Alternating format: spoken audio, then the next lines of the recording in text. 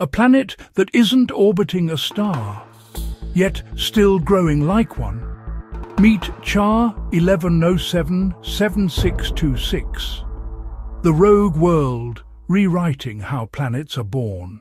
Cha 1107-7626 lies about 500 light-years away in the Chamaeleon Y star-forming region. But unlike the stars around it, this object drifts alone. No orbit, no sun, just darkness and dust. It's only a few million years old, a cosmic newborn, but it's massive enough to blur the line between planet and brown dwarf.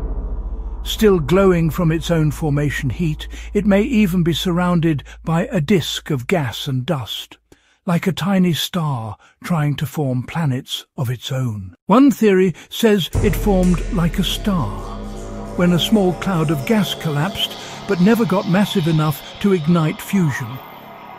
Another idea?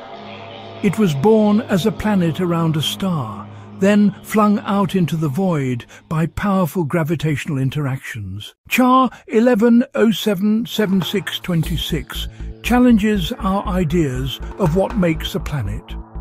If worlds can form in isolation, there could be billions of orphan planets, drifting silently between the stars, each carrying its own untold story. Not every world needs a sun.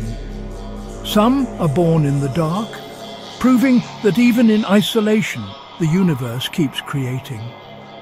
Follow for more stories from the edge of discovery.